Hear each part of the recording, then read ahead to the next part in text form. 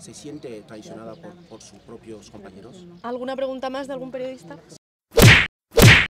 Efectivamente, como decía Alejandra Jacinto, la candidata de Podemos a la Comunidad de Madrid, lo que están exigiendo estos vecinos y estas vecinas es respeto, es dignidad lo que están pidiendo es un plan integral que garantice indemnizaciones justas, que garantice también viviendas, porque han perdido las suyas por una negligencia y por una chapuza de la Comunidad de Madrid y de uno de los empresarios más poderosos de este país, que es Florentino Pérez, a través de su empresa Dragados, y también hablaban de algo que, habla de la falta de humanidad, de lo contrario de lo que debemos hacer los servidores públicos y las servidoras públicas, que es que ni siquiera están recibiendo apoyo psicológico. Personas mayores, familias enteras que están perdiendo sus casas, que con eso están perdiendo sus vidas, que muchas veces no han tenido ni una hora para poder sacar las cosas de toda una vida en una vivienda, porque esa vivienda tenían que abandonarla porque tenía riesgo de, caerse, que en 20 minutos tuvieron que sacar sus cosas y que ni siquiera han tenido un mínimo apoyo psicológico. Por tanto, toda nuestra solidaridad y empatía con los vecinos, también responsabilidad.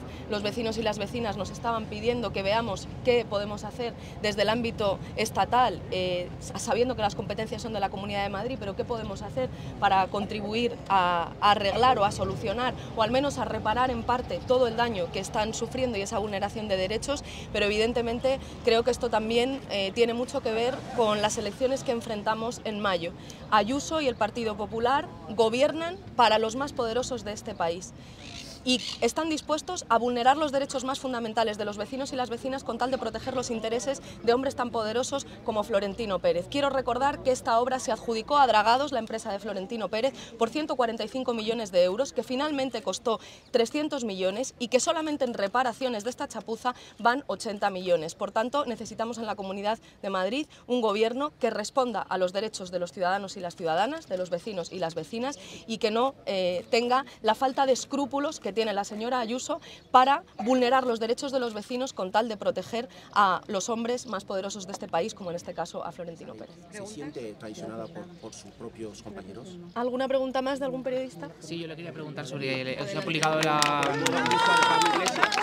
Se ha aplicado en el BOE la reforma, sí, se ha aplicado en el BOE la reforma del, de la ley del solo sí es sí, si nos podías hacer una valoración de, de esta reforma hemos enfrentado y ya está publicado en el BOE un retroceso en derechos de las mujeres en la parte penal de la ley solo sí es sí. La situación de sequía que estamos viviendo. Es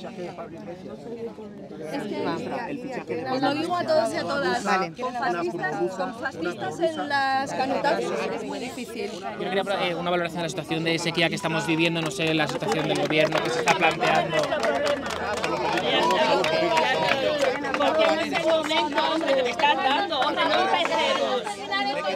Preguntar por el fichaje de Pablo Iglesias en su programa Una prorrusa, una prorrusa. Para, para la candidata como para la ministra, la situación de sequía que estamos viviendo. Yo te pido respeto para el trabajo de los periodistas. Fuera fascistas de los barrios, de verdad, no te lo puedo decir con más claridad. Fuera, fuera, Perdona, está mi compañero preguntando. Es que no ha querido responder a mi Pues le preguntas a Ayuso por qué estamos en la calle. Le preguntas a Ayuso por qué estamos en la calle. Pregúntale a Ayuso si quiere. Pregúntale a Ayuso. Pregúntale a Ayuso.